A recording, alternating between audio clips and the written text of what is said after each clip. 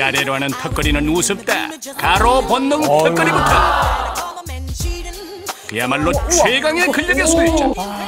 진짜? 아우 최강자네 최강자. 그런데 대성 씨에게 도전장을 내민 이들이 있었으니 강한 근력을 이용해서 멋진 동작을 선보이는 비보이들.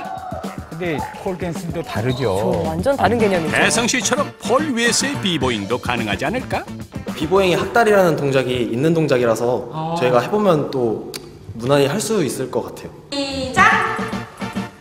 오, 하지만 폴에서는 버티기가 생명. 동작을 비슷하게 흉내는 내스나 추풍 낙엽처럼 떨어지는 비보이들. 반면 끄떡없는 주인공. 이야. 이대로 물러설 수 없다. 사나이 자존심을 걸고 재도전. 옷까지 벗어 던진 김에 좀 저래요 다들.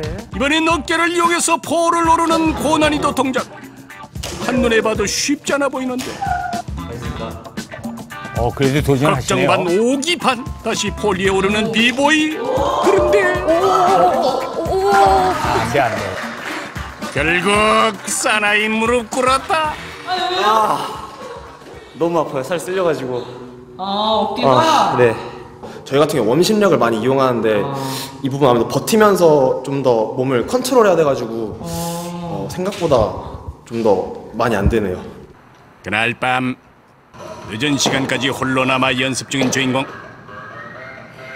쉬지도 않고 얼마나 열심히였는지 비 오듯 흐르는 땀방울.